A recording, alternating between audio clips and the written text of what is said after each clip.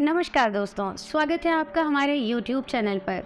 दोस्तों, कई बार हम ये सोचते हैं कि हम इस कार्य को करने के लिए पूरी शिद्दत से कोशिश कर रहे हैं, लेकिन ऐसा क्यों नहीं हो रहा? कहीं ना कहीं कोई ना कोई कमी ऐसी हो जाती है जो ये कार्य पूरा नहीं हो पा रहा है। तो अगर आप चाहते हैं कि इस कार्य को पूरी तरह पूरा करना तो आपको ज़रूरत है सही विधि की।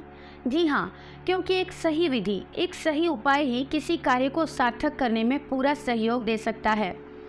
कई बार हम किसी से प्यार करते हैं और उसे अपनाने के लिए हम कई टोटकों को अपनाते हैं, कई बताए गए नियमों को अपनाते हैं, लेकिन उस विधि में हमने सही मंत्र का प्रयोग नहीं किया, जिसलिए शक्ति नहीं होती, या वो मंत्र अभिमंत्रित नहीं होता, या फिर वो विधि किसी अनजान इंसान की बनाई गई होती है। जिसके कारण उस विधि का असर ज़ीरो होता है। आपकी परेशानी हंड्रेड परसेंट वहीं की वहीं रह जाती है। वो परेशानी कभी ख़त्म ही नहीं होती और ख़त्म होगी भी कैसे? क्योंकि आपके पास जो विधि है, वो गलत है। जब तक विधि सही नहीं होगी, परेशानी का हल नहीं होगा। आज मैं आपको सही और सरल विधि बताने जा रही हूँ।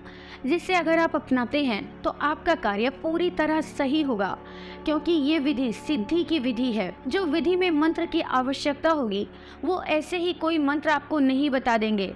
हर मंत्र का अपना एक महत्व होता है, अपनी एक शक्ति होती है। एक और होता है, और ये मंत्र की राशि के हिसाब से, ग्रह के हिसाब से अलग अलग होता है। कोई भी मंत्र, कोई भी प्रयोग करे, ऐसा नहीं होता। तो आज जो मंत्र मैं आपको बताऊँगी, वो मंत्र अभिमंत्रित होगा और वो मंत्र भी शक्तिशाली मंत्र होगा। इसके उच्चारण मात्र से ही आपका कार्य पूरा हो जाएगा और आपको कुछ और करने की, किसी विधि को अपनाने की ज़रूरत नहीं होगी। किसी तांत्रिक के पास जाने की कभी आवश्यकता पड़ने वाली ही नहीं है और इसमें जो सामग्री चाहिए, वो सामग्री आपको रसोई में आसानी से उपलब्ध होती है। सामग्री के लिए भी आप बाहर जाने के लिए मुझे सामान ला कर दे दो। ऐसी कोई आवश्यकता नहीं होगी। आपको रसोई में जाना है और रसोई में रखे लौंग के डब्बे में से आपको सत्ताईस लौंगे निकालनी है। बस, सामग्री के नाम पर आपको चाहिए ये सत्ताईस लौंग। और आपको कुछ भी नहीं चाहिए। तो आइए, बिना समय बर्बाद करे मैं आपको बताती हूँ कि आखिर आपको करना क्या है। आपको सुबह के समय स्नान करके एक साफ़ जगह पर बैठ जाना है।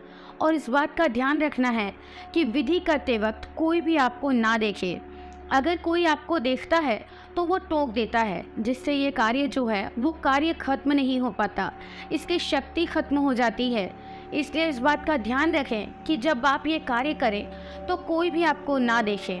अब आपको वो सत्ताईस लोगों को खुद ही अब अभिमंत्रित करना है। और वो किस तरह से करना है, एक मंत्र आपको बताया जाएगा। उस मंत्र को आपको बोलना है और आप किसी को भी अपने वश में कर सकते हैं, जिससे भी कोई कार्य कराना चाहते हैं, चाहे प्रेमी हो या प्रेमिका या आपका बॉस हो या कोई भी जिससे आप अपने वश में करना चाहते हैं, उसका नाम लेकर आपको ये काम करना है। एक लौंग को अपने ऊपर तीन बार उबारना है, ऐसे ही आपको 27 लौंग के साथ करना है। और फिर जब ये आप कर लेंगे तो आपको कुछ नहीं करना। आपको उस व्यक्ति का ध्यान करना है। आप इस कार्य को चलते फिरते भी कर सकते हैं। इतना करना है कि कहीं भी आप बैठे हैं तो अपने एक लौंग को अपने मुँह में रख, तीन बार उसे काटना है और फिर थूक देना है। और ऐसा आपको 27 के 27 लौंगों के साथ करना है। जैसे ही आपके 27 लौंगे पूरी होने वाली होंगी, आप देखेंगे कि ये असर कितनी जल्दी करता है।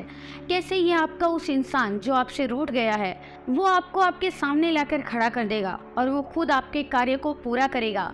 तो बिना समय बर्बाद किए आपको ये विधि अपनानी है। आपको इस कार्य को करना है और जो मंत्र है, वो आपको गुरु जी से प्राप्त करना है। जी हाँ आपको स्क्रीन पर लगातार एक नंबर दिखाया जा रहा है। इस नंबर पर फ़ोन करके आप अपनी राशि बताएँगे। तो गुरु जी आपको राशि के हिसाब से और ग्रह के हिसाब से मंत्र दे देंगे। और फिर जब उस मंत्र का प्रयोग आप इस विधि में करते हैं तो देखिएगा ये विधि कितनी सार्थक होती है। कितनी आसानी से आपका कार्य पूरा हो जाता है। तो दोस्तों, बिना समय बर्बाद करें, अपनी परेशानियों को ना बढ़ाएँ और अपने जो कष्ट हैं, उसे दूर करें, इस आसान सी विधि को करके। तो आप इस विधि को कैसे और अपने आप को खुश रखें? और भी कोई समस्या है तो आप गुरु जी से बात करके अपनी हर समस्या का हल ले सकते हैं। ऐसी कोई समस्या नहीं है, जिसका समाधान गुरु जी के पास ना हो। स्क्रीन पर दिए गए नंबर पर गुरु जी को कॉल करें और अपनी सारी समस्या का हल लें। जय माता दी।